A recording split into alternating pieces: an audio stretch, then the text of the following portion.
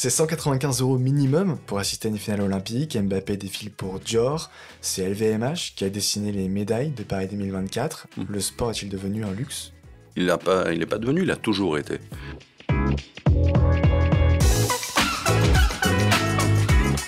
Bienvenue dans Make Sense, un saut dans la pop culture pour explorer les questions de société. Un podcast. de Schema Business